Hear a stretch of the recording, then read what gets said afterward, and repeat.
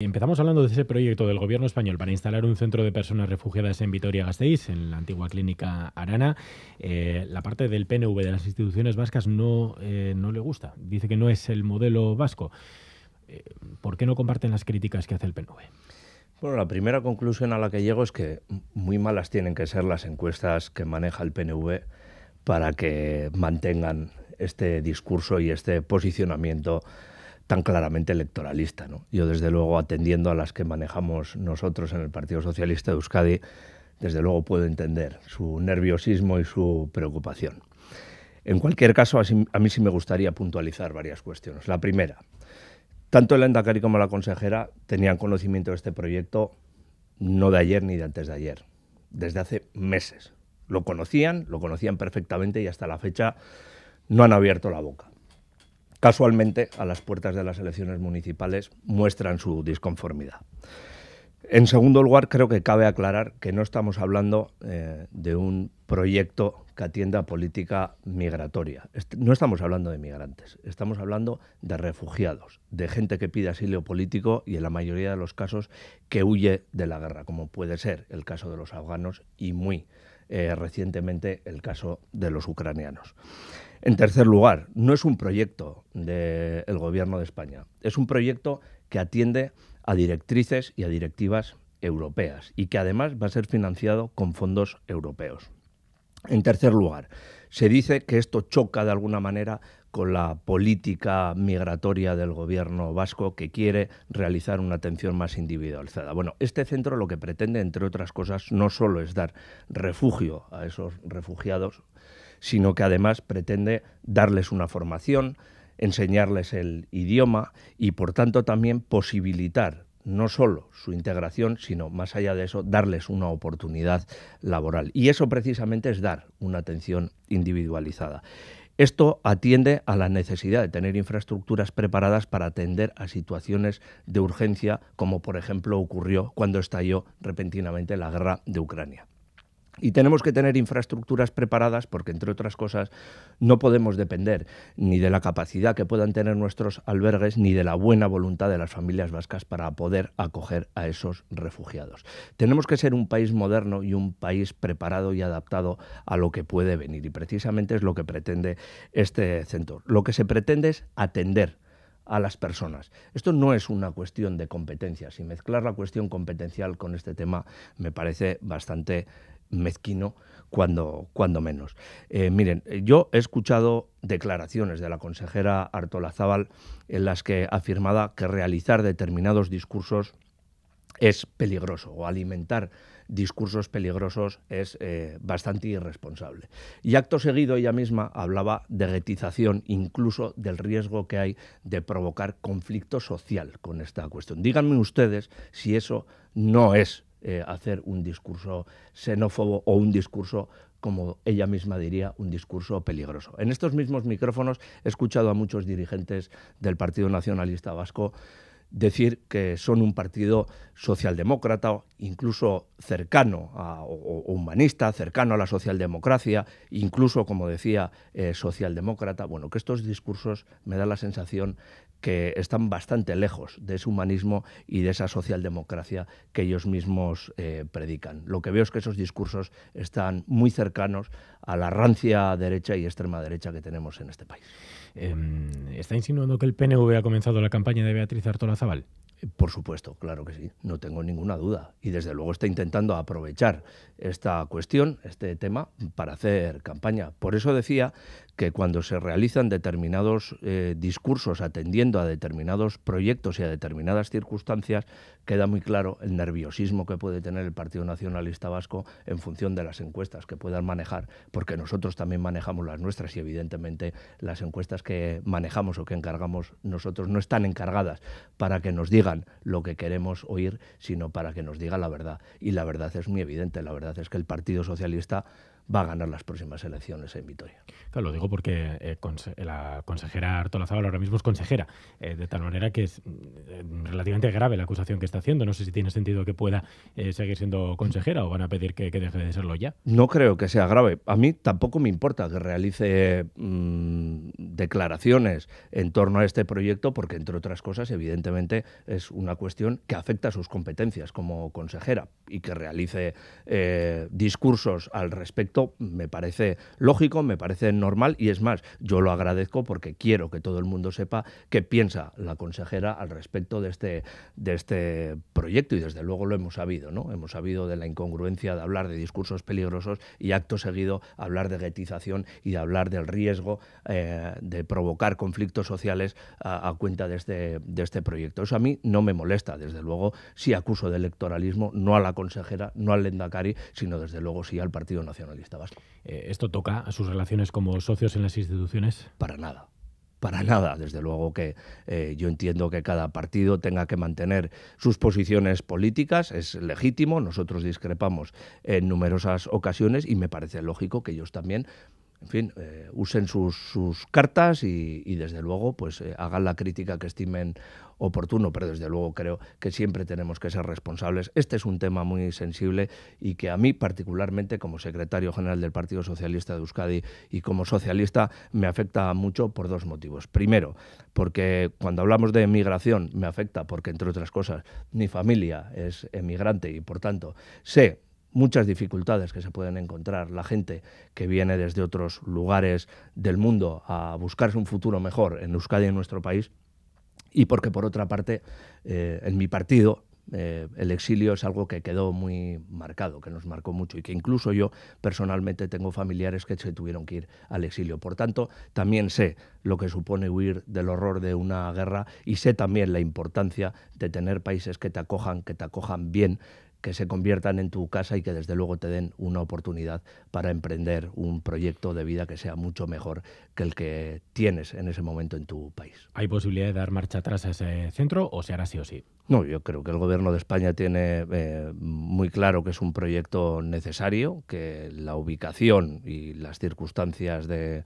de, Vitoria y de la Clínica Arana son un lugar perfecto para instalarlo y me da la sensación que evidentemente el Gobierno de España no va a dar marcha atrás y desde luego el Partido Socialista en su conjunto, desde luego, va a hacer piña con el gobierno de España y lo va a defender a capa y espada, porque creo que es un buen ejemplo para demostrar la sensibilidad, el carácter humanitario y la solidaridad que siempre hemos tenido en, Euskadi. Echaban de menos la, parte del PNV de las instituciones, coordinación entre ambas instituciones. Eh, no se va a producir, por tanto, esa coordinación. Va a ser una decisión unilateral.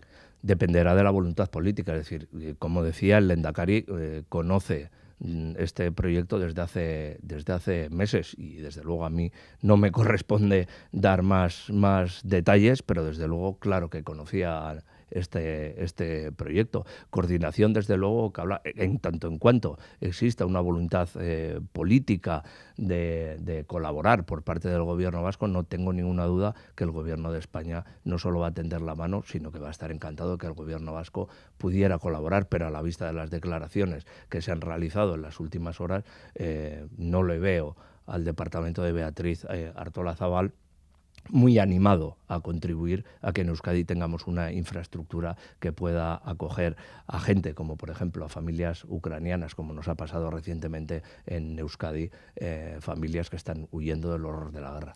Eh, dice que este asunto no afecta al pacto PNV-PS. Eh, ¿Afectó el asunto de las ayudas de las subvenciones al transporte? No, yo creo que al final el tiempo... yo diría, no sé, parece que ganaron ustedes al PNV, ¿se podría decir eso? Yo, creo que ganó el sentido común. Si el sentido común vino de la mano de los socialistas, pues bienvenido sea, como tantas veces, ¿no? ¿qué, voy a decir al respecto? Pero sí creo que evidentemente fue un pulso que tuvimos entre ambos socios, pero que creo que al final el tiempo nos ha dado la razón. Y lo que sí da buena muestra es de la eficacia de poner en práctica políticas que vienen o que están basadas en la cogobernanza, ¿no? Y en la posibilidad de que todo todos los gobiernos a todos los niveles, desde el gobierno de España, gobierno vasco, diputaciones y ayuntamientos colaboren, trabajen conjuntamente y hagan posible la puesta en marcha de medidas progresistas, medidas que desde luego contribuyen y mucho a que las familias en Euskadi, pues bueno, pues eh, tengan un tránsito, digamos que más amable en estas circunstancias tan difíciles que estamos viviendo. Eh, hablemos de la, de la, ley de educación. Eh, ¿Qué le hace pensar que el PNV podría, o el gobierno, o el consejero Vildarrat, podría deslizar esta ley hasta eso que usted llamó la construcción nacional? Fue una advertencia que hicimos porque no queremos que, esa ley se convierta precisamente en eso, ¿no? Y ha podido haber tentativas, no solo ahora, a lo largo de la historia, en convertir nuestras leyes y nuestros instrumentos pues, en una herramienta que, contribuya a la construcción nacional nacionalista. Tengo que, apuntar, que apuntalar, ¿eh? La construcción nacional nacionalista. Y evidentemente no me cabe ninguna duda que, Bildu va a intentar eh, tirar por esa, por esa vía, ¿no? Pero creo que el acuerdo de bases es un acuerdo de bases que contribuye al acuerdo, que contribuye al consenso, que deja muy claras cuáles son las prioridades y si ese borrador de la ley se ciñe al acuerdo de bases, yo creo que nadie debería tener ningún problema en apoyarlo y desde luego en sustanciar esa ley en lo que verdaderamente nos debe de importar, que es eh, situar al alumno en el centro de la ley, eh, a reforzar el papel de, la educación pública y desde luego a contribuir a través de las herramientas que tenemos a, que nuestros alumnos tengan el mejor rendimiento y los mejores resultados posibles, ¿no? que es de lo que se trata en estos momentos. ¿no? Pues yo creo que, que, ese es el objetivo y desde luego el acuerdo de bases pivota sobre, esos, sobre esas tres cuestiones principalmente, también sobre la cuestión del del trilingüismo, que entiendo que son cuestiones esenciales, troncales, para tener una educación que permita a nuestros jóvenes y a las futuras generaciones pues tener un acceso a través de la formación pues a, un mercado laboral pues eh, con una mayor cualificación si cabe. Eh, ¿Le preocupa que Podemos se acabe descolgando del pacto educativo? No, no me preocupa. Yo creo que sería irresponsable yo creo que sería irresponsable y también eh, pues dejaría muy a las claras a qué están jugando algunos, ¿no? Y me parece que eh, jugar con esta, con esta cuestión al electoralismo, pues creo que no contribuye en nada. Yo les pediría que reflexionaran y sí espero y deseo que efectivamente ese texto atienda al acuerdo de bases y que desde luego a través de ello Podemos pues bueno, pueda, pueda rectificar de alguna manera su posición y se venga a, aprobar una ley que creo que es muy necesaria sacarla con el mayor consenso y con el mayor apoyo posible. Creo que es trascendental para el futuro del país y, en fin, espero y deseo que Podemos juegue a la responsabilidad y no a otras cosas. ¿Qué le ha parecido, señor Andueza, el informe de Sedarriac, que piden esa flexibilidad en el sistema educativo, esas cuotas de jóvenes también en instituciones o empresas? Es el segundo informe que saca Sedarria, que yo desde luego siempre eh, lo leo con muchísima, con muchísima atención. Siempre hay conclusiones muy positivas que poder sacar y sobre todo conclusiones positivas eh, mirando al futuro. ¿no? Y creo que es, que es importante. Es importante que en este país tengamos otro tipo de termómetros más allá que los que podamos tener las instituciones y los diferentes departamentos. Me parece muy legítimo y muy saludable que, bueno, que, un grupo como Seda RIAC eh, pues, eh, dedique su, su tiempo a contribuir precisamente a hacer una aportación a este país. Yo lo agradezco muchísimo no me ha dado tiempo a leerlo en profundidad, pero desde luego eh, sí creo que hay reflexiones como la que acaba de apuntar que me parecen muy interesantes. ¿no? Como decía, la educación es una cuestión troncal y desde luego en el ámbito del desarrollo económico, de la, de la, innovación, de la competitividad. Creo que tenemos un reto muy bonito, muy importante y nadie mejor que ellos también pues para saber y para conocer cuáles son las circunstancias que tenemos en estos momentos, cuáles son las necesidades de nuestras empresas, de nuestro tejido productivo y hacia dónde tenemos que, tener, que ir en el ámbito educativo también, atendiendo a sus necesidades, como decía, para contribuir a la riqueza de este país y sobre todo para apuntalar, pues vamos a decir que un empleo estable y de calidad y que desde luego retenga todo el talento que lo tenemos y mucho aquí en Euskadi. Eh, sobre la exclusividad de los médicos de Osakidecha, ¿están en el PSE a favor, en contra o, a favor de analizarlo? Nosotros nunca nos vamos a negar a analizar eh, cualquier propuesta que venga de, cualquier fuerza política y desde luego nos vamos a sentar a reflexionar y a, valorar la propuesta que se ha realizado. Pero desde luego creemos que eso precisamente eh, no va a contribuir o, no contribuya mucho a que muchos de los, de los médicos, del personal sanitario que tenemos en, en Euskadi eh, se quede aquí. ¿no? Yo creo que abre la puerta precisamente a todo lo contrario, a que, a que muchos médicos y muchas médicas que, que se dedican a ejercer eh, su profesión aquí en Euskadi incluso puedan ver una puerta, otra oportunidad en otros sitios en los que, en fin, las condiciones son, son otras. Yo creo que además es algo que no comparte eh, ni los sindicatos ni los colegios médicos y desde luego al margen de que lógicamente nosotros lo vamos a analizar de manera pormenorizada, en principio yo yo, considero que es una medida poco acertada eh, en aras a contribuir a consolidar un cuerpo, un cuerpo médico estable y desde luego que contribuya a mejorar los estándares de calidad que tenemos en la sanidad pública vasca. Eh, parece que el conflicto con la OSI Donostia al día empieza a solucionarse. Ayer al menos Osakidecha dijo que las cosas van bien. Eh, no sé si ha podido tener algo que ver o si esto de la exclusividad de los médicos ha podido presionar, pero ¿cómo, cómo lo ve? Hombre, yo creo que si hay una herramienta válida y eficaz en este tipo de circunstancias, desde luego, eh, son el diálogo y, el esfuerzo por encontrar consensos. ¿no? Yo siempre he dicho que en este caso la transparencia y, el esfuerzo por encontrar consensos a través del diálogo eran fundamentales. Creo que tenemos que recuperar los estándares de, calidad que históricamente hemos tenido en la sanidad pública vasca.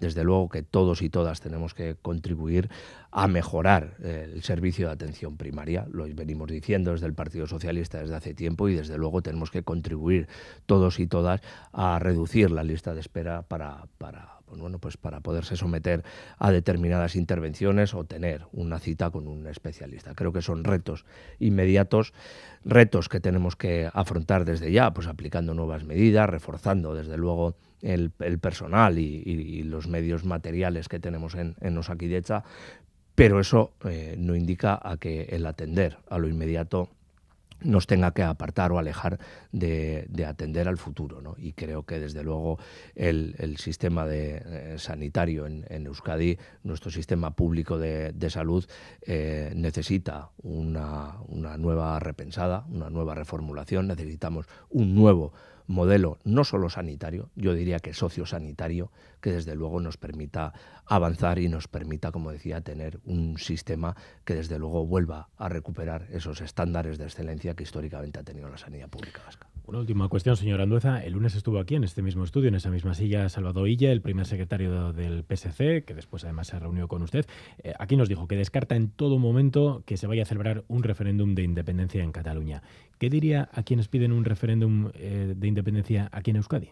Pues bueno, yo les diría primero que se fijaran en la vía catalana, ¿no? en todo lo que ha supuesto el, proceso eh, en Cataluña, ¿no? todo lo negativo que ha, que ha, traído, a una sociedad que está absolutamente paralizada, inmersa en un desgobierno y en un, y en un caos absoluto, con todo el perjuicio que eso trae en el ámbito social y en el ámbito económico en cuanto a la tensión que se vive en las calles, desde luego a las pérdidas económicas y, y pérdida de músculo en cuanto al tejido, en cuanto al tejido productivo. Yo les diría que vivimos en un mundo globalizado en el que ahora mismo todos los problemas nos afectan a todos por igual, que Euskadi no es una isla y desde luego que creo que unidos y desde luego eh, contribuyendo al fortalecimiento del proyecto europeo, Euskadi será mucho más. Por tanto, vayamos a proyectos que nos unan y que no nos dividan. O sea que referéndum en Euskadi, aquí la respuesta es no. Desde luego, rotundamente no. Por cierto, hoy hay cumbre España-Francia en Barcelona. Eh, también hablamos de ello con Salvador Illa. Eh, cuando habrá una cumbre España-Francia en Euskadi, eh, ¿lo persigue el PSE?